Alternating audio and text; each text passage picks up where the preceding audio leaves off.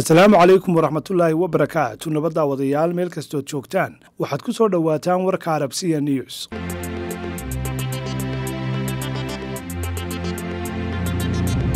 qodobada aad wararkayga xilligan aad ku daawan doontaanna waxaa ka mid ah hagayaasha dagaalka laascaanood oo musallafay guddigii saddex iyo soddonka ahaa ee xagga dambe ka maamulayay dagaalka laascaanood ka socda ayaa soo bandhigay xaaladooda dhabta ah ee ay xilligan ku sugan yihiin.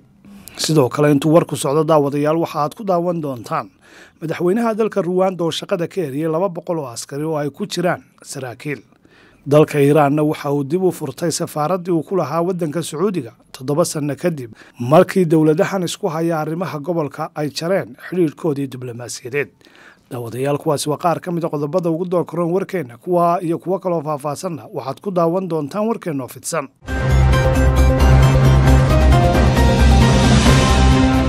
guddigii saddex iyo soddonka ahaa ee xagga dambe ka maamulayay dagaalka laascaanood ka socda ayaa soo bandhigay xaaladooda dhabta ah ee ay xilligan ku sugan yihiin. Guddiga saddex iyo soddonka oo badankoodu ku sugan magaalada laascaanood ayaa waxaa soo wajahday xaalad adag oo dhaqaale la'aaneed taasi oo sababtay inay dagaalka sii wadi kari waayaan. Guddigan iyo garaadada laascaanood oo aan si cad u sheegi karin culayska dhaqaale la'aaneed ee soo wajahay maadaama oo qurba joogtii lacagta soo diri jirtay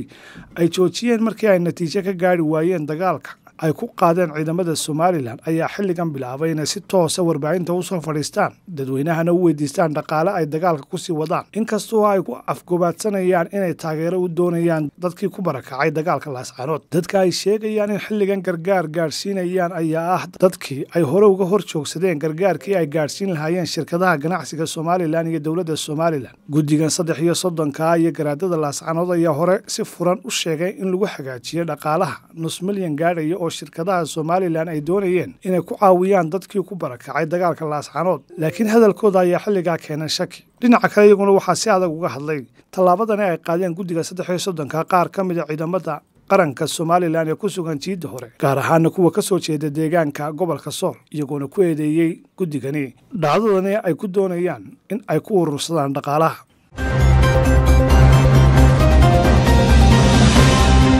dalka ruwanda bolo kagame ayaa shaqada ka caydhiyay in ka badan laba boqol oo askari oo ay ku jiraan saraakiil sare oo ka tirsan ciidamada difaaca ee ruwanda genaraal orios muganga oo ahaa taliyaha qaybta makaanigada ee ciidamada xoogga dalka oo soo noqday taliyaha ciidamada kaydka laba kun iyo sideed iyo toban ilaa sagaal iyo tobankii iyo sarreeye guuto faransiiso mutoganda oo madax ka ahaa amniga dibadda ee hay'adaha sirdoonka qaranka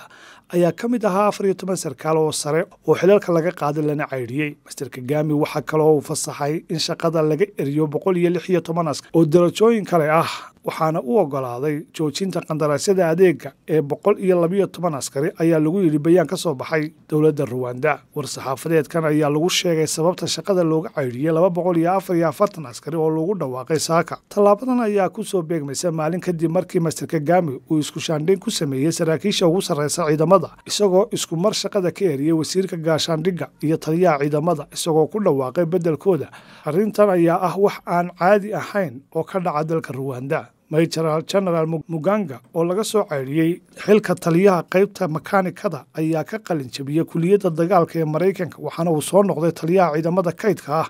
intii u dhexaysay berger genaraal mutaganda waxa uu ahaa madaxa amniga dibadda ee hay'adaha sirdoonka iyo nabad sugidda qaranka ilaa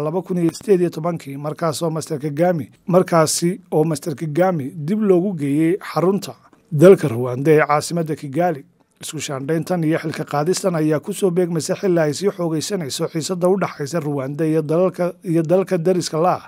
ee d r congo oo dhanka galbeed ka xiga iyadoo dhinac walba uu dhinaca kale ku eedeynaya inuu la shaqaynayo jabhado jabhad si dowladda loo rido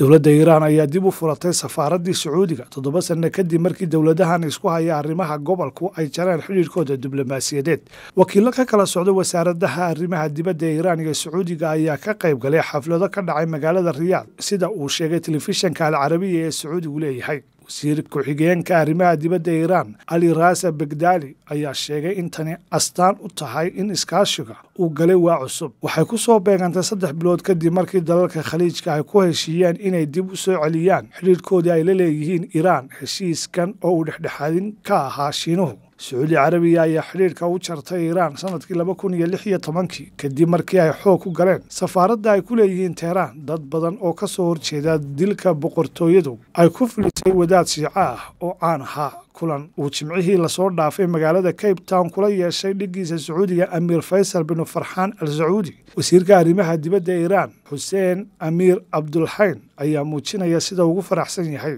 horumar wanaagsan oo la gaadhay xidhiidhka labageesood ah wasaaradda arrimaha dibadda ee iiraan ayaa sidoo kale soo xigatay amiir farxaan oo sheegay in gogol xaadhka loo dhigayo in safaaradda sacuudiga ee teheraan dib loo furo wuxuuna caddeeyey inuu dhowaan booqan doono halkaasi. Sacuudiga oo isku arkay inuu yahay dalka ugu horreeya ee sunniga muslimka ah iyo iiraan oo ah dalka ugu weyn ee shiicada muslimka ah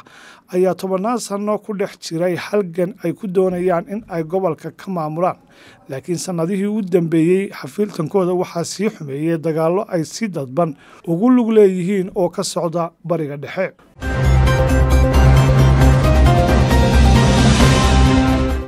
safiirka wakhtigiisu dhammaaday ee maraykanka u jooga soomaaliya larri andri ayaa markii ugu horreysay ka hadlay sababtii ugu hor yimid muddo kororsigii farmaajo iyo waxaa ka jira eedayn ah in maraykanku fashiliyo qorshihii uu farmaajo ku xukumi lahaa dalkaasi soomaaliya. Larri andri oo waraysigan siiyey b b c da ayaa sheegay in caqabada keliya ee farmaajo qabsatay ay ahayd inuu ka tallaabay dastuurka dalkaasi taasi oo khadka cagaaran uu ku tilmaamay. Cadaadisku waxa uu madaxweyne farmaajo ka haystay dhinaca dastuurka wuxuu aada ugu dib dhacay muddaxileedkiisa khad cas ayay u tahay soomaaliya. Baalmarista dastuurka sababtoo ah waa dal tobannaan sanno ku soo jiray fowdo iyo gacanka hadal ayuu yidhi danjira larri andri. Madaxweyne farmaajo ayaa ku doodi jiray inuu hirgelinayo doorasho qof iyo cod ah wuxuuna baarlamanka wakhtigaasi isku dayey in uu kordhiyo muddo laba sanno ah. Balse waxaa ka dhashay gacanka hadal kadibna waxaa la gaadhay doorasho dadban. Safiirka maraykanka u joogay xilligaasi danjira larri andri waxauu waraysigani ku sheegay in markii ugu horreysay uu farmaajo bartay sannadkii labada kun iyo labaatankii xilligaas oo jabuuti uu ka ahaa safiirka u jooga maraykanka laari waxa uu sheegay in xilligaas farmaajo u tegay dalka jabuuti inuu ka qayb galo wadahadaladii ugu dambeeyey ee soomaaliya iyo somalilan oo jabuuti ay martigelisay. Sanad kadib laari waxaa loo soo magacaabay safiirka maraykanka ee soomaaliya waxaana waraaqihiisa aqoonsiga ka guddoomay madaxweyne farmaajo waxaanu sheegay inay wada qaateen maalintaasi wakhti isbarasho oo ku filan fikrado badanna ay isdhaafsadeen